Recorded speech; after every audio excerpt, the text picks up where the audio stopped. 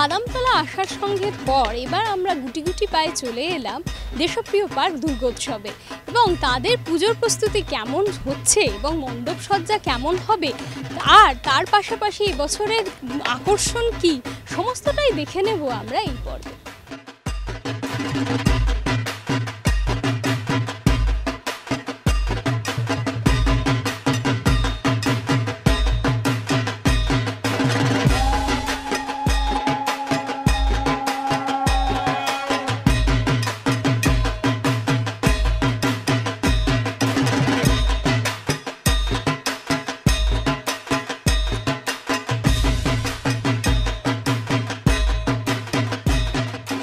আমি এই মুহূর্তে রয়েছি দেশপ্রিয় পার্ক দুর্গোৎসবে এবং আমার সঙ্গে রয়েছেন ক্লাবের কালচারাল সেক্রেটারি রূপকুমার কথা বলব তার সঙ্গে। দাদা, আজকে আপনি আমরা তো দেখতেই পাচ্ছি এখানে আপনাদের ভীষণ সুন্দর একটা বোধহয় রাজবাড়ির আদলে একটা কিছু বানানো হচ্ছে। তো থিমের বিষয় যদি বলেন। দেখুন, প্রথমত দেশপ্রিয় পার্ক থিমের ঊর্ধ্বে, কারণ এত বড় একটা জায়গা আমরা পেয়েছি, এটা আমাদের কাছে সৌভাগ্য। সেই জায়গায় দাঁড়িয়ে দেশপ্রিয় পার্কের এবছরের ভাবনা হচ্ছে কলকাতার রাজবাড়ি নাম হচ্ছে ফিরে দেখা। তো সেই জায়গায় দাঁড়িয়ে বাংলা তথা এই যে, ইউনেস্কোর দেওয়া হেরিটেজ তকমা, তাকে মাথায় রেখেই দেশপ্রিয় পার্কের যে বিষয় ভাবনা সেটা হচ্ছে যে, এমন কিছু জিনিস দেখানো বা বোঝানো, সেগুলো এতদিন ধরে লোকজন জেনেছেন কিন্তু জানেননি, এরকম একটা বিষয়। সেই জায়গায় দাঁড়িয়ে কলকাতার রাজবাড়ি, পশ্চিমবাংলার রাজবাড়ি, বিভিন্ন রাজাদের ইতিহাস, তাদের ছবি, এই সমস্তটা মিলিয়ে হচ্ছে আমাদের দেশপ্রিয় পার্কে দুর্গাপুজো। থিমের কথা যখন আসছে, তখন রাজবাড়ি নিয়ে যখন একটু জিজ্ঞাসা করব যে রাজবাড়ি কি কি রাজবাড়ি দেখতে পাবো? না, সেটা এক্ষুনি রিভিল্ড নয়। আর একটু সময় পাই তারপরে, কারণ দেখতেই পাচ্ছেন একটা ভাস্ট স্ট্রাকচার হচ্ছে, বিশাল বড় একটা বিষয়। কারণ এরকম একটা জায়গায় প্রায় এগারো হাজার স্কোয়ার ফিট জুড়ে আমাদের প্যান্ডেল। তো সেখানে অনেক কিছু দেখার আছে, ভেতরে, বাইরে, কারণ মণ্ডপের ভেতরেও এবার দর্শকেরা প্রবেশ করছেন। সেইখানে দাঁড়িয়ে অনেক কিছু দেখার আছে। আর একটু সময় দিন, আর একটু ভালো করে করে নিই, তারপরে দেখাবো। প্রতিমার বিষয়টা যদি প্রতিমা তো দেশপ্রিয় পার্কের কোনোদিন থিমে যাওয়া হয়নি, কারণ আমরা সাবেকিয়ানায় বিশ্বাসী। বড় ঠাকুর, একচালার ঠাকুর বড় প্রতিমা, প্রদীপ রুদ্রপাল করছেন, সেটাও ওই সনাতনী ধারা বজায় রেখে এইভাবেই চলছে।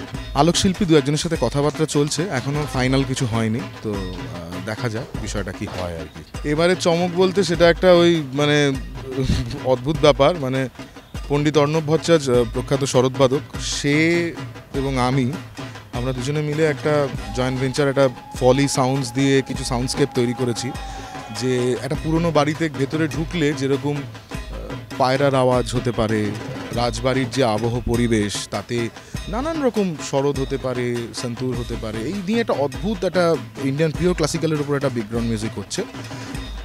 তার সাথে ঢাকের গোল তো থাকছেই উলু শঙ্খধ্বনি থাকছে, এসব নিয়ে একটা জমজমাটি ব্যাপার। আমরা সার্পেন্টাইন ব্যারিকেডটা করে দিই একেবারে এন্ট্রি গেট থেকে শুরু করে নিয়ে প্যান্ডেল অবধি। ওইটা আমাদের করা, যেহেতু মাঠের পুজো, বৃষ্টি হলে কাদা, জল ইত্যাদি হতে পারে, মানুষের জুতো টুতো নিয়ে রিস্ক হতে পারে, সেই জন্য ওটা একটা আমরা করে দিই। বাদ বাকি সমস্ত সিকিউরিটি অ্যারেঞ্জমেন্ট কলকাতা পুলিশের সাহায্যার্থে আমরা করে থাকি।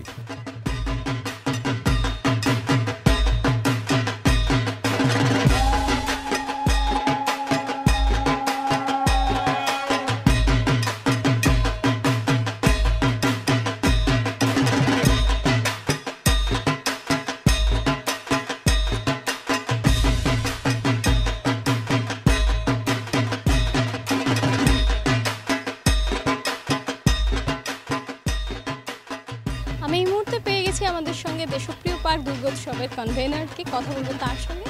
দাদা আপনার নাম আমার নাম তপন চৌধুরী নমস্কার। জানতে চাইব আপনার কাছে এই যে এত বড় একটা পুজো হচ্ছে সেই পুজোতে আপনাদের করোনার জন্য কি কি ব্যবস্থা আমরা করোনার জন্য যেটা করছি প্রত্যেকটা মানে দর্শনার্থীদের বলব যে আপনারা করোনার নিয়ম মেনে আপনারা প্যান্ডেলে আসুন আস্তে আস্তে আসুন মাস্ক পরুন। সবাইকে এই রিকোয়েস্টটাই রাখব। কারণ এখনও তো করোনাটা টোটালি উড়ে যায়নি বা শেষ হয়ে যায়নি। সেই জন্য সবাইকে আমরা বলব যে আপনারা করোনার নিয়ম মেনে চলুন, আসুন, ঠাকুর দর্শন করুন, কোনো অসুবিধা হবে না।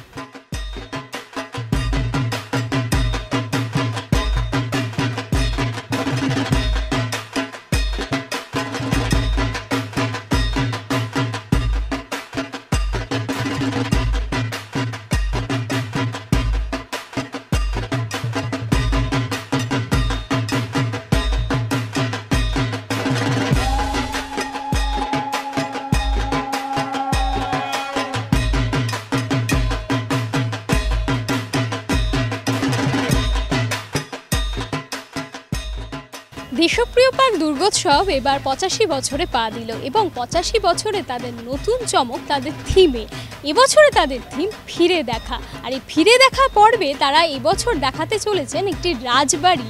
এবং শুধু একটি নয়, দু দুটি রাজবাড়ি কিন্তু যতদূর জানা যাচ্ছে তাদের থিমে এবার দেখা যাবে।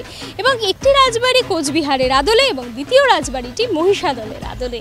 এবং সমস্ত কিছু মিলিয়েই কিন্তু আজকের এই পর্বে আমরা দেখালাম তাদের পুজো প্রস্তুতি কেমন চলছে। এরকম আরও পুজো দেখতে চোখ রাখুন আরোহী নিউজের পর্দায়